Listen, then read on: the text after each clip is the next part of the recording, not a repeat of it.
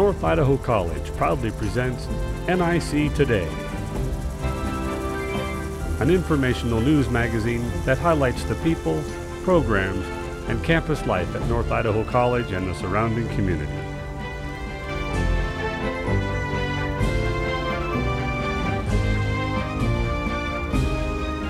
And now, your host and moderator, President of North Idaho College, Dr. Joe Dunlap.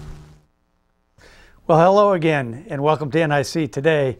This is the program that brings you the people and programs that uh, make up North Idaho College. And today we have some very special guests who have very exciting jobs, and we're off to a new school year. So, joining me today, uh, we've got individuals who have probably the most enviable jobs on this campus. Uh, first of all, uh, we've got our coordinator for recreation sports and outdoor courses and faculty member, Jessica Bennett. So, Jessica, welcome uh, to the program today. In addition, we have Jon Totten, who is the coordinator for our Outdoor Pursuits program, as well as an instructor and faculty member here at NIC. Jon, welcome uh, to NIC today. And then, uh, in addition, we have our Vice President of Student Services, Graydon Stanley, joining us. Graydon, welcome. Thank you, Joe. And then, as always, we have Mark Browning, our Vice President of Governmental Affairs and Marketing. So, Mark, thanks for being here. Pleasure.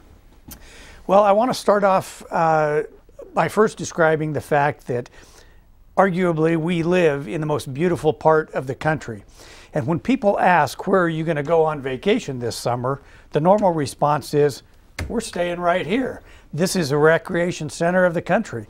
And so, uh, what I'd like to do uh, is, is talk a little bit about the recreation programs we have. And today, those programs are called Rec Tech, which I guess bring us up uh, to the uh, latest terminology in this uh, endeavor.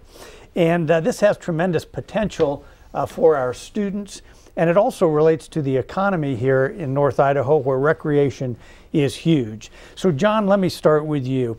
Why don't you tell our viewers about your program and how students learn the business of recreation and what you do with your program and the fact that you have uh, interns coming from all over the country?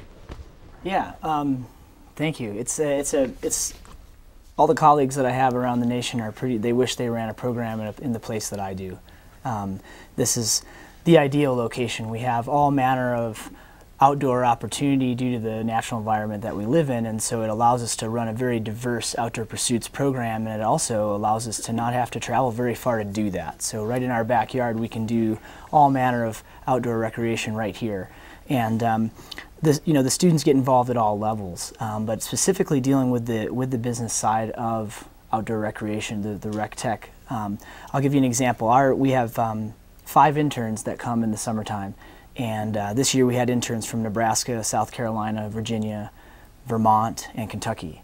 Ooh. All visit here from four-year universities. They're studying outdoor recreation, and this is a required uh, part of their uh, bachelor's degree. And so they come out, and they literally run a business on the lakefront here, as everyone, as all of us know. But um, I wish more and more people would know that uh, North Idaho College. We've got a mile and a half on Lake Coeur d'Alene and our program operates down there seven days a week in the summertime. Um, our rental center is going every single day, and we pretty much hand that over to the students. So it's their job to generate revenue, which supports our program throughout the entire school year. And um, a really a neat thing that's uh, new is stand-up paddleboarding has really taken off. Um, I'm getting some laughs. For some. Right. Yeah, for exactly. some, better or for some some. would sit down or fall off paddleboarding. Right, right, right. The stand-up part's the, the challenge, but um, they've uh, the students have really gotten a chance to be on the be on a cutting-edge sport in recreation. It's the fastest-growing outdoor sport in the world right now, and um, it's been a lot of fun to get involved with. The students got to choose which boards we bought, and there's uh, everybody's trying to get a piece of it right now. So there's lots of vendors contacting us all the time, trying to tell us they've got the latest, greatest thing, and so on. And so the students got involved with that. And now that we have them, they're figuring out how do we utilize them? How do we get as much of this as we can? By offering the rentals, we're also, also offering lessons. Um, and we've started a race program. So uh, the entire community is coming. We actually have a race tonight on the on the beach, and so people are coming down and racing these boards around buoys, and it's just really taken off. And so I think as far as students getting involved with the business side, I don't think we've ever had a better time for them to do that because they're seeing this new sport take off and figuring how can our college program get involved? How do, how do we get the students out there? How do we get the community involved? And how do we use it then to support the rest of outdoor pursuits? Because as you know, we do a lot more than just stand-up paddleboarding. We operate all year round, and so the um, they've had a lot of fun doing that, and it's fun to see the excitement and, and to see them tie into the, the buzz that's around around that particular sport right now. So, Jon, uh, with these stand-up paddle boards that you're having races with, are you allowed to use an elongated kayak paddle for that? Right. or do you have to use a regular paddleboard paddle? Oh no, it's all standard. The, you know, the, the really interesting thing about the race series is that it's a one design class, and so oh, okay. everybody's on the same board. So it's kind of like NASCAR, right? It's supposed to come down to the driver, yeah. and so everybody's in the same car. Well, it's kind of the same concept. Everybody's on the same board, so you can't come down with a real fancy board and kind of and kind of clean house. And so that's um, again, just making an opportunity for anybody who's fit and, and good at it to do really well. And, and I think that's that's key when it comes to our students because they don't uh, they're not going to own their own board, but they can come down and participate the same as um, we've got folks from Hood River, Seattle, that are uh, Missoula that are coming over to race, but they're right in the mix. They're on the same board as our students are out there, and so it levels the playing field. And but everybody's got the same gear going around the buoys. Well, and I know we also have a, a, fleet of sailboats. This past weekend, I went out to the beach and rented one of your Hobie craft, and right. the wind was whipping, and uh, those are like driving sports cars on the water. And so I had a great time doing that. Now I know uh, you're going to take one of our sailboats, the larger one, a 22 foot Colgate, up to a Sandpoint as part of the regatta up there uh, here in the near future. Right, right. Yep, we're uh, we're going to be competing in the Spud Cup uh, over Labor Day weekend like uh, up at Sandpoint. Um, a couple things, you know, we're we're up there to uh, to promote the sailing program here, but it's also an opportunity that, as you know, the Sandpoint Center is developing, and our goal is to be offering some sailing classes on Lake Pend Oreille in the near future, and that's um, very exciting. So it's a chance for us to kind of showcase that we've got a nice boat and um, a professional crew we can get out there and compete with uh, with these guys up there. And uh, we've got a mix of, of staff faculty and students all on the crew. Great. And uh, we've been out there banging around on the lake and we're excited. We're looking forward to it. Yeah. Jon I've, got, I've got a question when it comes to rec tech because I think of it in, in I think the old term we used might have been ski bum you right. know, you know, you started as a lifty and maybe you worked your way into the shop, and right. but it's so much more than that now. And, and recreation is is a huge business worldwide. How do you get the students to convey to say parents or others back home that hey, I'm not just out here as a mountain biker or a canoeer or a fly fisher. This is actually a serious business, and there's lots of money involved, and this is how I will make my living in RecTech. How do you how do you help them? Tell that story? I think the um, the best way is to go home and tell your folks how many people you worked with in one season. Um, we offered 18 sections of lessons this summer. We had uh, over 150 students go through the program. We did over 2,000 equipment rentals over the beach. And so I think when you can go home and say, there's so much interest here, there's so much demand, um, to be involved in this business. And it is a business. It's absolutely a yeah. business, no doubt about it. Um, and it's a, especially in our region. I mean, this is a big part of the economy in North Idaho. We all know that. And um, so for the students to be, especially at the epicenter, they're on the lakefront every day do, doing that. And so I think that's the real key is to just let people know um, it's not three of us out there around the campfire. Uh, yeah uh, climbing mountains every day. Sometimes it is, but most of the time, there's a, there's a lot of people passing through the program every day uh, that are both local community members and people from all over the world. You go to the beach on a weekend. Oh. Strange tongues. I mean, there are people who are. It's really, it's really fascinating, and so I think that's the probably the best way to explain it. And, and learning how to make sure that those folks have a good experience here ties back into the tourism and customer service and keeping everybody Absolutely. coming back here so they have a good time. Yeah, it's um, it's not as easy as it looks. No. Uh, to make sure that everybody's safe and that everybody has what they need, and um, everyone's got different abilities and different desires out there. And when you're working with a, a group of, of folks and trying to teach them how to stand up paddleboard or, or whatever it happens to be, it's dynamic and it's challenging and it's it's fun when you when you watch. It's just like watching someone have a breakthrough in any classroom and learn anything, um, but except right behind them is mountains and birds and wildlife. Nice Well, well. Jon, um, thanks for that insight. And the fact of the matter is, I mean, you mentioned the mountains and the uh, trees and, and other things other than the shores of Lake uh, Coeur d'Alene. And so uh, we've got Jess Bennett here, who just took a group of students uh, down to Portland on a service trip. And then I'm also going to ask her to uh, describe uh, the ropes course that she manages here uh, on campus as well. So, Jess, tell us a little bit about the trip that the students went on, and I believe you've got some slides to show, and then Sure. uh, also talk about that ropes course. Yeah, thanks, Joe. Um, yeah, I had the pleasure of leading eight students um, over spring break last year um, to Portland, Oregon. We participated in a full immersion program um, with an organization called Bridgetown. Um, basically, the, the people of Bridgetown um, make it their mission to form relationships and love the homeless people of their city. And so we were able to go and join them in that mission um, and, and learn a lot about that. Um, it was incredibly eye opening. I think all of us went with our own preconceived notions and our own stereotypes of what homelessness is and um, what, what leads people to living on the streets. And um, what we learned really changed our views. It was pretty incredible. Um, I do have two examples maybe to help illustrate kind of what, what that learning, um, where the learning happened there. But uh, one of the days that we were there, we, we had a homeless experience. So from 7.30 in the morning to 5 p.m., um, we broke into small groups and we walked the streets of Portland. We didn't have money, we didn't have cell phones. Um, all we had was our sleeping bag and the clothes that were, were on us. Um, and we had to figure out what we were going to eat and how we were going to get out of the rain. And it was pretty incredible. My small group happened to be all women, um, just by chance, I guess. And as we were walking the streets, we came across um, a, a women's shelter and ended up um, going in there hoping for a cup of coffee. I guess that's what I think about at 7:30 in the morning.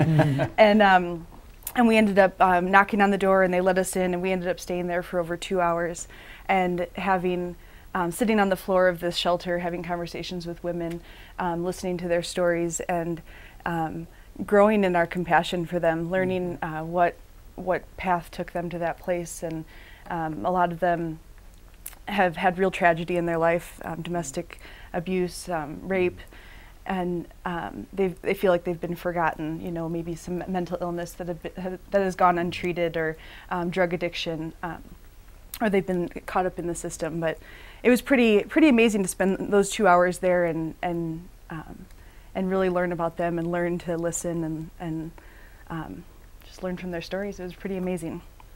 Um, there's one other story I'd like to share too, Sure, if that's okay. Um, Bridgetown um, is the name of the organization there that we worked with, and um, they have an amazing program. They work all year round, um, but one of their events that they put on every week is on Thursdays, and it's called Night Strike. Um, basically, it's this huge event under the Burnside Bridge in downtown Portland, and um, they invite people to come in for a free meal and clothes and haircuts and getting their bikes fixed and their nails painted. All, it's a huge, huge event. Uh, the night we were there, there were over 200 volunteers for this event and hundreds and hundreds of guests that joined us. And um, the volunteers, or our students, um, participated in a, many different ways, serving the people there and again sitting down and listening to their stories and joking around with these, um, with the guests there. And uh, one of one huge takeaway that I had, or I guess the students had, I was approached after this event by three of the students, and and they were like they were very surprised with who the volunteers were. Um, the volunteers were young people; they were college students, just like them, and um, I think it was kind of that moment when they transitioned from being there and trying and learning to um, to learning that they can be a volunteer and that they can come back to Coeur d'Alene and serve their community here. And th- it, that became more of a reality to them, I think, once they saw the compassion that, that the young people of Portland were showing their homeless people. So um, yeah, we returned and we've been working in soup kitchens since and trying to reach awesome. out to our community. And um, it was it was a great success. Great learning experiences. Mm -hmm. Th that value mm -hmm. of expanding someone's norms and expectations or preconceptions of things. Mm-hmm. How how much value is that then when they take that back to their standard classroom? Let's say they're sitting in a math class or uh, you know any class that they might take. What does that do to their mind as a student in, in helping them now deal with what comes in front of them after they've been to something like that? That's a great question. I think um, I think there's tremendous value in in what we did and the experiences we had and our um, ability to to love and get to know people.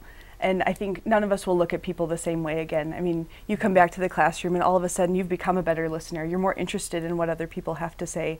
You realize that the path that they've taken in life is different than yours, and um, you can learn from that and you can celebrate that. So whether you're in math class or you're walking down the streets of Coeur d'Alene or if you're in a soup kitchen or yeah. in a grocery store. All of a sudden, it's not always just about you. Mm -hmm. There's there's more than that around. Right. Great. And I wanted to ask you a question because students, is, they are at the center of what you do, uh, being over student services, and, and you've been here on campus about a year now. So uh, it's gone by quickly. Yes, it has. Uh, We've been busy. What is ahead for the student services side of, of the institution here in, in the coming year. Know, we're really excited about this upcoming year. It's just that time of year. The wonderful thing about our business is it's renewing. Um, every year it's a new group of students, a new set of challenges, and hopefully we're smarter uh, every year that it comes around. So I think we'll be a little bit better again this year, certainly a little more experienced. And our focus is certainly going to be on helping students be successful in the classroom. The first reason that they come here is for an education, to be successful in the classroom, to translate that into training transferring or getting a job eventually down the road. So most of student services, while there are a lot of great activities and student activities, extracurricular things, that's the privilege that comes from being a good student first. And so really our focus on what we're going to provide this year is supports to help students be successful in the classroom. Mm -hmm. We want to make sure, um, like all colleges nationwide, there's an issue with not so, so much students coming in the front door, but students leaving uh, through the side door because they haven't been successful. They haven't met the requirements that federal financial aid places on them, that institutions place on them to be successful first in the classroom. And uh, we're trying to address those by putting a number of supports in place and, and making students understand from the from the, the front side that you know it's exciting to come to college and there's all these wonderful opportunities for, for trips, for outdoor pursuits, for clubs and organizations, but that comes as a privilege from being a successful student in the classroom. So we've talked about satisfactory academic progress. That's a, a national buzzword, as, as you know, that requires that students uh, have at least a 2.0 GPA that they complete uh, two thirds of the classes that they attempt, credits that they attempt, that they complete their degree within a certain time frame. And we're trying to make sure that we don't let students get to the point where they fall off that SAP cliff, but we intervene prior to getting there so that we, we say, listen, this is what's happening. Listen, you have to get to class. You have to do better here.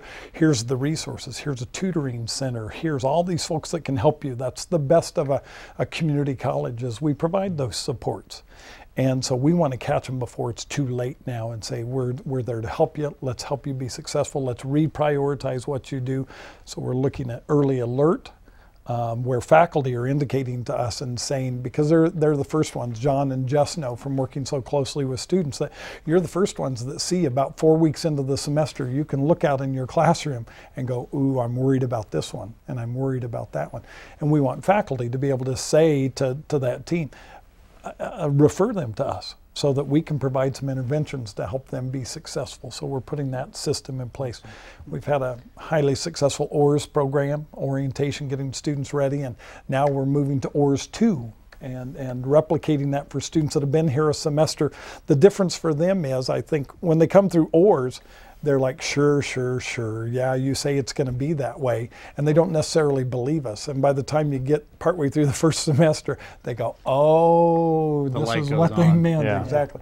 And so we want to be there in OARS 2 to help them with that reality check get to the next step. So, um, you know, our focus is really going to be on helping students be successful in the classroom so they can enjoy the benefits of, of transfer, enjoy the benefits of clubs, organizations, extracurricular, and uh, being successful in their life after NIC. Graydon, one of the areas of responsibility that has been transferred to you, and I think it falls under that section of all duties, other duties as assigned, uh, is campus security and emergency management and planning. And I know your staff has been very uh, engaged in uh, the planning and exercises. Can you describe some of the improvements that have been made uh, recently with regard to emergency planning for the college? Ab- absolutely, Joe would be glad to do that. Uh, you know, that's certainly paramount. I, I heard Jon say when he talk, talks about his program, safety is number one. Even when we talk about just instruction on campus, people can't learn in an environment that they don't feel safe. So we have to make sure that's that's what we provide to our students and employees. So we've been through a lot of processes. I know Joe, you asked us early on to get some training, all of us, so that we were familiar with some of the language, the terminology, the trends related to safety. We went through that. Most recently, we had a tabletop exercise here working with uh, all of our partners in the community, Kootenai County and Coeur d'Alene and emergency, uh, emergency services, and kind of went through that rehearsal about how do we respond found out the areas that we're strong in, discovered some of the areas that we need to, to bolster up. And so that was a great exercise for us.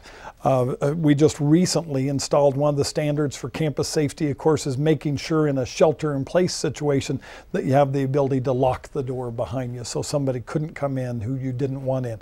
Uh, we retrofit a lot of the doors here on campus to make sure that that, that happens. We have, uh, we'll be going through a number of not just talking about it, but practices this school year where we'll work through it as if this situation has happened and have our employees, our students, all the stakeholders here have to practice. So uh, if the time ever comes, unfortunately ever comes, it's something that we're used to. We know how to react. We know what to do. So, so hopefully we can lessen that. Uh, Jess, Jon, I've got a question because you, you're very directly connected with students. How much do students talk about potential safety situations. Just in the very recent news, there was another shooting, in uh, this one uh, in suburban Atlanta, Georgia, and unfortunately, I think we all operate under a mindset here. At least I know from from the administration level that it's not if, but when. But I'm curious, do, do students talk about this when when you're on a travel trip or you're out on the river with them? Do, uh, do they talk about potential situations where there could be that kind of scenario on a campus? Um, I, I would say very rarely, uh, and I think it's because it goes back to the environment that we live in. I think it's one of those things that's kind of that only happens in the big city or uh, and, and where there's lots of people and things like that. We're out here in the in the North Idaho countryside, right? Even when we're on campus, it feels like you're out in the countryside, right. which is something we enjoy. But I don't think it's on their minds as much. At least it's not been brought up to me. I don't think ever. I'll be honest think the students feel safe here. And like you said, the small town, um, we're not in the big city. And yeah, I haven't heard much about it either. Did, did you have a feeling when you were in Portland that uh, I've traveled to Portland a number of times that, you know, most of us are pretty familiar with it mm -hmm. as a mm-hmm. Northwest city, but it, it feels different. Right. when I go to Spokane, it feels different mm -hmm. than what it does walking in downtown Coeur. Did, did you have any safety concerns with, with the group of students there? Um, no, I mean, like any city, there are precautions that you need to take, maybe a little bit more, um, or look at it a little differently than here in Coeur d'Alene when you're in your hometown. But, um, you know, sometimes you, we saw some fights, maybe a little bit break out, but we weren't involved with that. We were able to kind of just bypass. But I think it was eye-opening to them. Some people had never been out of Idaho before, so that's a that's a big deal, big city to go to, and um, yeah, so a little bit, but not so much. Just one thing we didn't talk about was your ropes course. Sure. And so could you uh, describe that? And I think we've got a video to go along with your description of that. Sure. Um, so we have the NIC Challenge course here on campus. It's located right behind the Student Union building. Um, we first built the course in 2008, and it's been um, um, gaining momentum ever since. So we've been able to put on additions to the course throughout the years. About every other year, we're averaging um, adding a new element, and it's a great opportunity for uh, campus groups, so um, different clubs, sports teams, faculty, staff groups, um, to come and do you know team building and kind of push their limits, get outside of their comfort zone.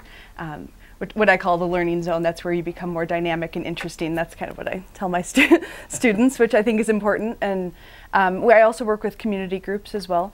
Um, so it's open to um, to our community. I've had doctors and dentist offices. I've worked with different um, state departments, and um, yeah, it's a great it's a great program. It's a really fun way to face those fears and grow as an individual, and also grow as a team. Learn to trust and communicate uh, with each other, and um, and feel um, like you're conquering something. Yeah. What a great program. Jon, we've got about a minute left. Uh, why don't you describe uh, the priorities you have for the Outdoor Pursuits program and where you think you're taking that uh, here in the near future? Um, I would say uh, two priorities right now. Uh, first and foremost, we're trying to um, do more uh, leadership development within our program. Um, the challenge of the with as many as the community colleges as the turnover. Students aren't aren't here as long as, for example, where I went to school at a four-year university. I had more time mm -hmm. to work with them, and so we've expanded our internship program to go year-round now. It used to be just in the summer. Now we're going to go year-round because we want to give students an opportunity to lead other students, and so that's definitely my my first priority right now. And um, second of all, it's uh, it's all about facilities for us right now. I think we're, we're seeing our lakefront develop. In the last five years, we've made a lot of big steps with new facilities and, and new boats and things like that, and we're watching the numbers follow them fast. Mm -hmm. And so, what's next? That's what I'm trying to figure out, and I'm not sure exactly what that next step is, but I think we're starting to show the potential that we've all we've all known has, has been there ever since the college has been in this location, and I think we've been able to prove that if we invest a little bit, we get a lot back, especially from our community in developing that space. And so I would say those are the things that are on my mind for sure. Great. Graydon, any last comments?